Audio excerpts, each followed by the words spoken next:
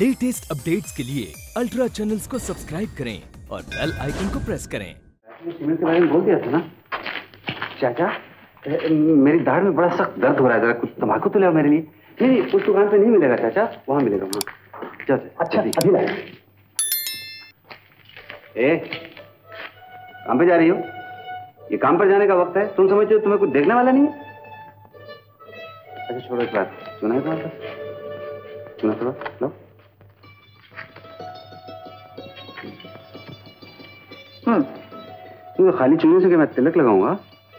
तो सुपारी भी तो ना? हम्म। तो पान भी। पान है ना तुम्हारे पास? एक पान दो। हम्म। कितने अरे पान क्या है जैसे पीपल का पत्ता होता है? ठीक है। ये तम्बाकू मैं नहीं खाता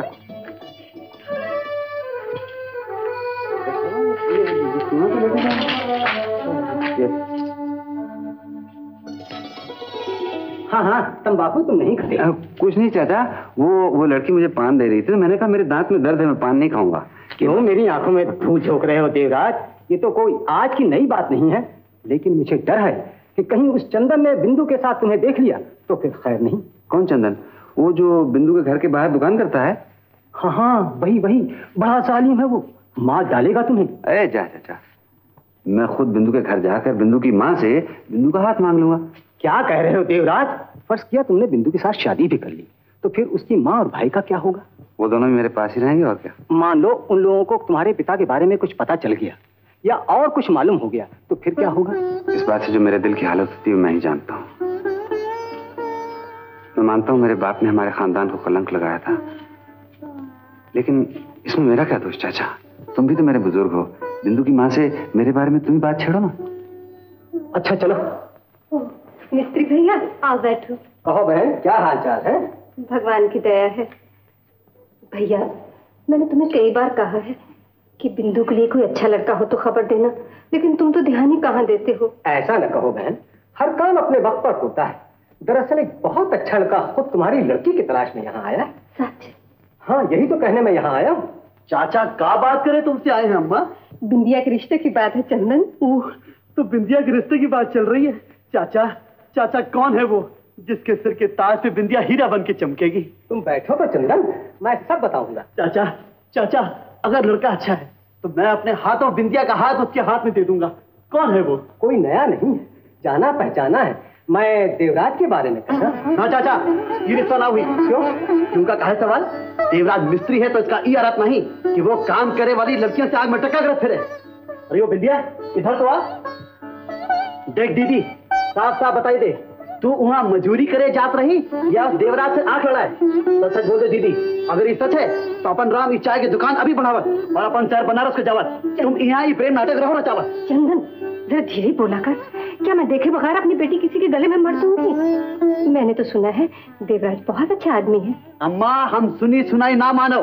पहले उसे बुलाओ। चलो बुलाओ मिस्त्री चाचा। देवराज जरा अंदर तो आना। आओ बैठो। कहो भैया तुम्हारे माँ बाप हैं माँ तो मेरी नहीं है और बाप मेरा बाप देखो चाचा देखो दाल में ज़रूर कुछ काला है। अच्छा तो देवराज ये बताओ कि तुम्हारे पास कुछ नकदी वकदी भी है कि नहीं? नकदी तो नहीं लेकिन मेहनत और ईमानदारी की दौलत ज़रूर मेरे पास है। पर तुम्हारा नौकरी तो पक्की है ना? चंदन मतलब की बात पूछो उल्टे सीधे सवाल पूछकर जान क्यों खा रहे हो? सुनो चाचा आज हम ये उल्टे सीधे सवाल सिर्फ़ इस खातिर पूछ रहे हैं कि देवराज ब्याह के बाद बिंदिया की जान ना खाए। देखो देव बाबू ये बिंदिया लाखन में एक लड़की है। वचन दिया कि तुम शादी के बाद ई का सिर आँख पर बिठाइए। मैं वचन देता हूँ कि बिंदिया को अपनी जान से भी ज़्यादा रखूँगा। आहा, बस बस बस। अब हमका संतोष है अम्मा। बिंदु चंदन ने तो अपनी तसल्ली कर ली। तुम भी तो कुछ कहो। चाचा मेरे सामने शर्माएगी मैं बाहर जाता हूँ, तुम पूछो। नहीं नहीं, तुम यहीं बैठो। तुम्हारे सामने ही फैसला होना चाहिए।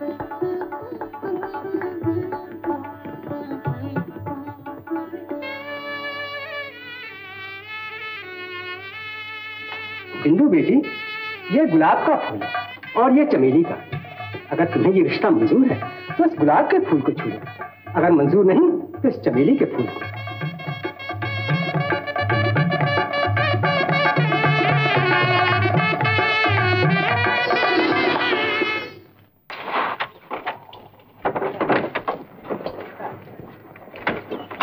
आइए आइए राय साहब। नमस्ते। नमस्ते। कहो देवराज सब काम ठीक चल रहा? है सब कृपा है आपकी। खुद ही देख लीजिए ना। देखो देवराज अब तुम्हारी शादी हो गई है। अब तुम दिन रात मजदूरों की निगरानी कैसे कर सकते हो? इससे बेहतर है कि तुम मेज की नौकरी छोड़ दो और अपना हिसाब चुकता कर लो। जी आप क्या कह रहे हैं राय साहब? आपको इस बात का ख्याल कैसे आया? इसी नौकरी के भरोसे पर तो मैंने शादी की थी। तुम मेरी पूरी बात तो सुन लो देवराज। म्यूनिसिपैलिटी की नई स्कीम के मुताबिक शहर से बाहर एक नई बस्ती बन रही है। तुम कल से वहाँ जाया करो। एक मेड की हैसियत से नहीं बल्कि एक ठेकेदार की हैसियत से। समझे? ठेकेदार? ठे- मैं ठेकेदार। अच्छा मैं चलता हूँ। आ, देखो देवराज भैया किसी ने सच कहा है। जब औरत नए घर में आती है तो अपनी किस्मत साथ ले आती है ठीक है। अच्छा बिंदु। अब मैं चलती हूँ। अरे, तू उदास क्यों हो रही है? इससे ज़्यादा बेटी के घर में रहना अच्छा नहीं लगता। मैं तो बहुत खुश जा रही हूँ। पता नहीं, पिछले जन्म में कौन सा पुण्य किया होगा जो ऐसा जवाई मिला। बेटी, अब उसके चरणों में ही तेरा स्वर्ग है। तेरे लिए भगवान बाद में वो पहले तन मन से उसकी सेवा करना। बिंदु क्या? क्या हो रहा है? ये कहाँ जा रहे हैं? हाँ तू तो कुछ बोलेगी नहीं। भैया हम अपने घर जा रहे हैं। अपने घर जा रहे हैं? तो ये घर किसका है? देखिए माँ जी राजू को तो उसकी भाभी मिल गई। मगर मेरे सर पे भी तो किसी बुज़ुर्ग का हाथ होना चाहिए। मुझे भी तो सुख दुख में आपकी ज़रूरत पड़ेगी। नहीं ऐसी बात नहीं देवराज। मेरी अपनी माँ ज़िंदा होती तो मैं जिद न करता। पर देखिए ना माँ जी मैं तो दिन भर काम में लगा रहूँगा। मेरे पीछे इस संगे मरमर की गुड़िया को कौन संभालेगा? अच्छा अगर तुम्हारी इसी में खुशी है तो मैं नहीं जाऊँगी। बस तो ये बात हुई ना जाइए आराम से बैठिए। ये ये सब तेरी शरारत थी ना? दो मन का सर हिलाएगी मुँह से कुछ नहीं कहेगी। अरे मैं तेरी माँ से ठहरने के लिए कह रहा हूँ माँ तो तेरी है मेरी तो नहीं है। मेरी तो सिर्फ़ सास है और वो भी नई नई तुझे भी तो उन्हें रोकने के लिए कुछ कहना चाहिए? था जरा ठहर।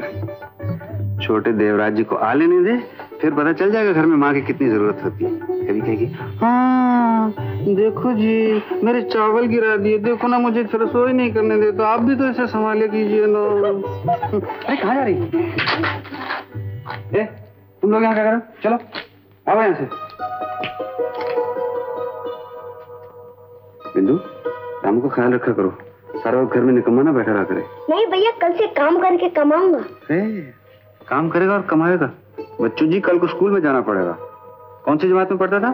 चौथी में। हम्म मैं शास्त्री जी के पास ले जाऊँ और तुझे पांचवी में बिठा दूँगा। अच्छा जाओ। वन टू थ्री भागो।